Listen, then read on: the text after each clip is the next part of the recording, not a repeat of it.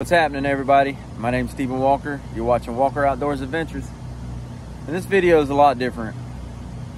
This is the day after Hurricane Milton has came through Central Florida. And I'm sitting in my backyard in a little chair. Big old tree down behind me. That's my well pump back there. My shed's underwater.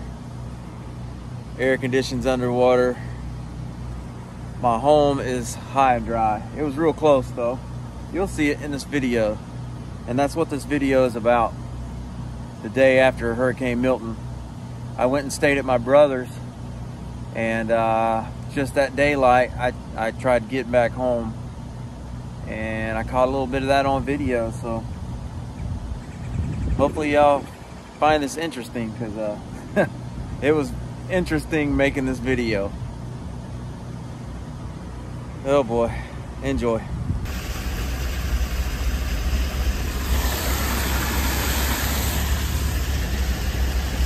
Look how flooded that crap is. Holy cow. There's power here. Don't go that way, that's down 92. Woo. Let's see how far we can get. Man, it is flooded, y'all. Houses are underwater. This is on Galloway Road, by 92. Houses are underwater.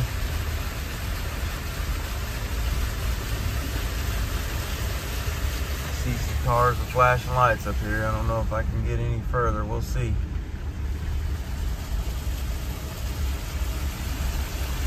It's taken me uh, about 45 minutes to get to here when it should normally take about 10. Look at it flooded. Oh boy.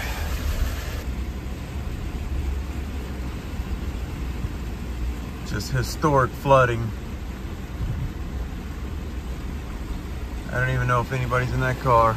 I gotta stop and see. No, there ain't nobody in it. Crazy, man. Crazy.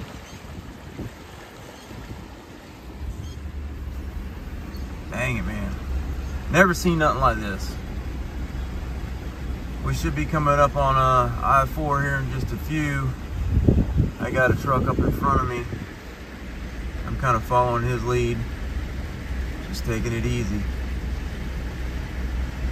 I tried to get a hold of my wife to let her know that uh, do not come this way in her car for sure. So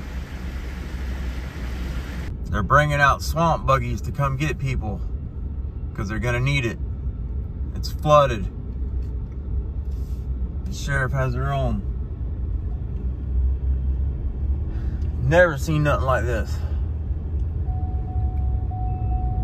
I got my seatbelt off just in case when I was going through that flood back there, I could just get out. I wasn't trying to deal with no seatbelt.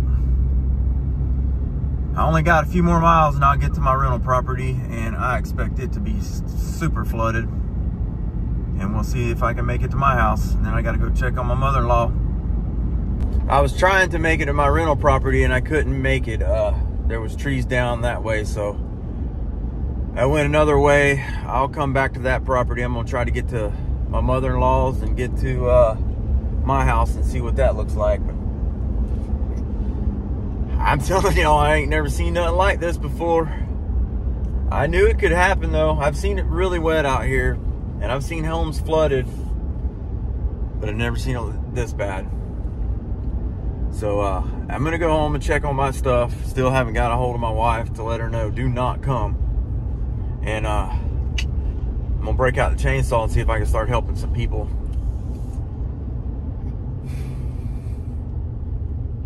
Hell of a time to be a Floridian. Y'all check this out. I've never seen nothing like this. God dang. The whole railroad bed is washed out. Look at that. The entire railroad bed is washed out. Right here on First Street. Never seen nothing like that. Goodness. When I tell y'all it's bad around here, it is bad. Holy moly, we are flooded. There's some wind damage, but mostly water. Man, I'm getting close to being in my house. We'll see what that looks like.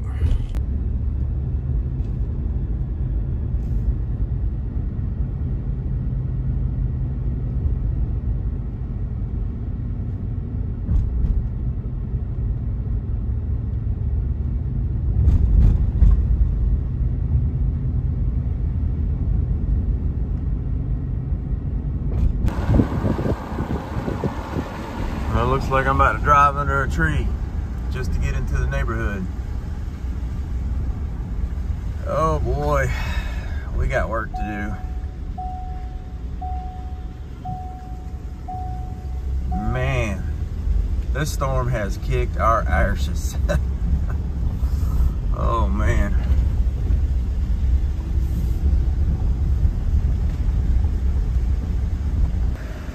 All right, y'all, here we are pulling up to my property.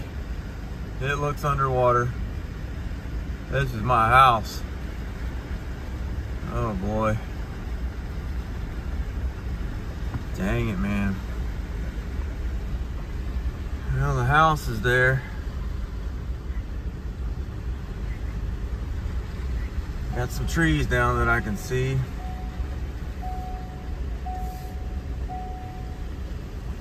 Boy.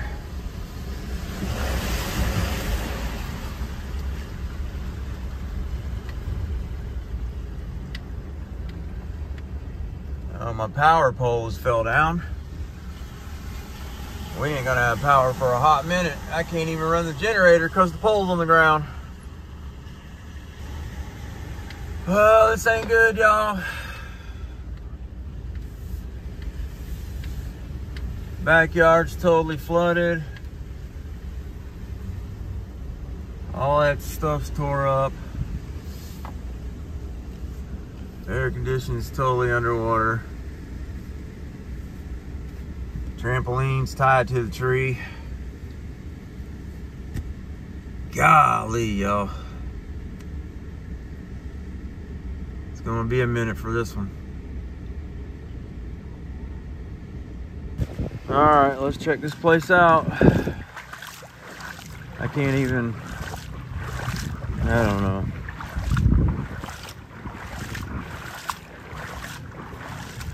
I don't even have no words for this. Power poles on the ground, so that, you know, I can't even run a generator here.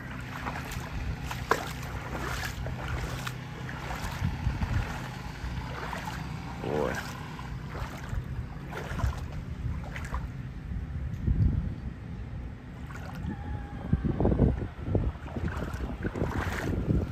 Yeah, I don't know a lot about power lines, electric wires, so I won't be messing with that. This is gonna take weeks and weeks and months. This is my yard. Lost some tin up there. There was another generator in there that blew up last generator, or last hurricane.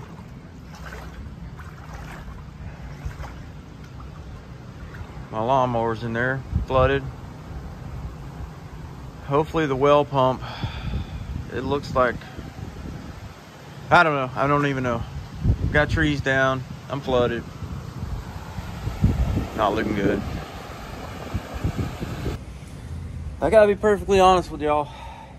I'm a little emotional over this. I don't know. I mean, once the water goes out, then maybe I can start making some progress. But right now, there ain't anything I can do. Inside my house is dry. And I can I can run power to my refrigerators and stuff, so instead of just to the, uh, the power box how I was gonna do, so I could have access to more electricity. So I got a couple of generators to run I don't know, a window unit, a couple of refrigerators.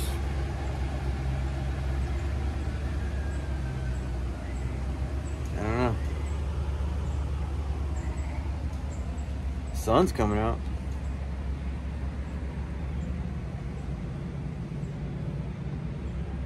Is something else, y'all. I really don't even know what to do. I'm, I'm gonna go get my truck go check on my mother-in-law. I tried to get a hold of my wife, tell her not to drive over here because she's in a smaller car. It's gonna drown out. Hopefully she don't. I don't know how long it's gonna take this water to go down.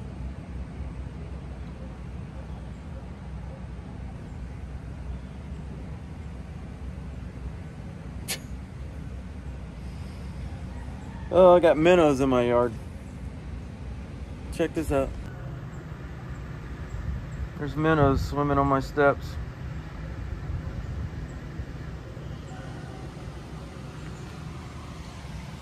I don't know. If it was a little drier, I could probably pick up or honestly, I'd probably just undo the uh, lines off the power pole and plug my generator in still, but it's just too wet. Oh boy, let's go check out the front porch. All right, so here's the front porch. this ain't good. We gathered everything up that was hanging and put it down low. Pretty depressing, y'all. I was hoping to come home and at least hook the generator up and I don't know, have a decent place to wait it out.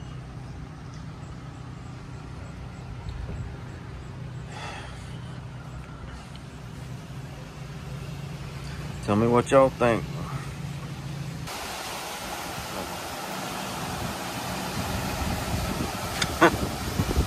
oh, might as well grab some skis and hook a rope to a bumper and just go have some fun for a bit. All right, y'all, I made it over to my rental property in the shop here. Looks like the lady's trailer is gonna be okay. Lots of flooding.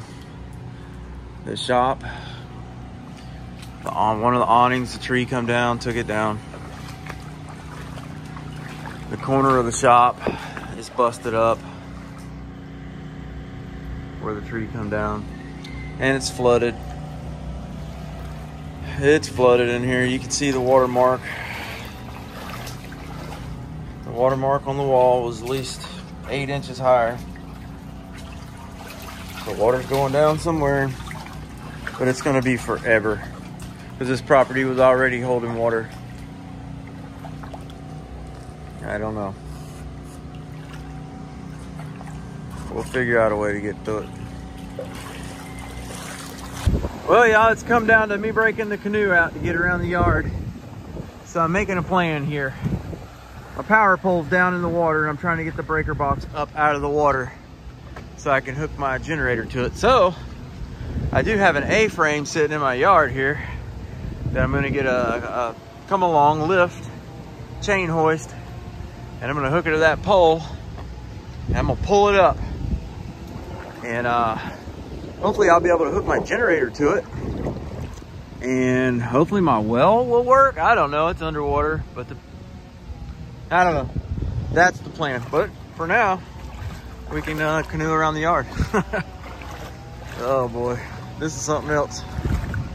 You can laugh about it, you can cry about it. I mean, you can hear generators, chainsaws. It's all, it's all happening right here in Kathleen, Florida. We got pummeled. Pummeled, I tell you. Good night. There's my wife right there. We got the uh, little generator on the refrigerators for now, so we're good with that. But I have got work to do on both properties. All right, we're out here canoeing around in the yard. oh man, the old tree house is falling down. At least the trees ain't falling. There's our there's our trampoline. Them things are just made to be blown around in the wind, I guess. There's our tree, uh, Christmas tree stand. Cheyenne, get the Christmas tree stand. Pick it up. oh, what do you think, man? I think it's gonna be a lot of work. Yeah, we got a lot of work ahead of us. All right, we're about to move the safe frame over there. All right, y'all. Well, we had some success. I've actually got electricity power to the house. uh, a little bit unconventional way of doing it, but we don't go too close to that area right there. But the old generator in the back of the truck is humming. And I got her uh, wired in right there. Service is turned off. I should have just pulled the whole breaker out, to be honest with you. Uh, pole snapped over, but the old A-frame has got it up out of the water. And then uh, my daughter let the canoe just float away. Huh, we'll have to get after about that. So we're making do. We're hoping this water will go down within the next week or so because I don't really know where it goes. there ain't a whole lot of places for it to flow. Uh, luckily, this house here really doesn't have any damage. It seems to be dry inside. All the windows are there. And uh, we'll get by with this one. As far as the shop goes, that's going to be a task to get some electricity back to it and um, actually dry it out. We're gonna have to squeegee the whole floor, probably rip the carpets out of the little apartment area, get some air going through there so it doesn't get so moldy and mildew. We're dealing with it. I'll show y'all a little bit of the tree damage through here. You got this big tree down in the backyard. There ain't nothing I can really do about it. It's not hurting anything now, so it'll stay, but I'm not dealing with this stuff whenever uh, there's this much water in the backyard. And trees are all down. All them trees are down. That's all laid over trees. But uh, my uh, Citizens Band antenna, it fell down. I had a base station. It didn't make it. I took the awning cover off of this, so I'll be able to put it back up. So we'll see how that goes. Man, it's something to deal with, I tell you what. We'll get through it. So as you can see, that was a bit of a different video. And uh, I don't even really know how I'm gonna get it online, upload it. I don't have any Wi-Fi, I don't have any service on my phone, can't call, can't text. One thing I can do because I was a little bit prepared when I go hiking and stuff is I got to use my uh, my Garmin InReach to let everybody know that I don't have any service here at my house. So they're worth the money. You know, I, I go hiking all the time. I use it for uh, in case of an emergency and you can text somebody anywhere in the world anytime. And it paid off today. I was able to let my brother know that I made it home, that, you know, the place is somewhat livable. But yeah, that's a few things I've learned. And I appreciate y'all watching my videos. Hopefully it gets better from here. We'll see y'all.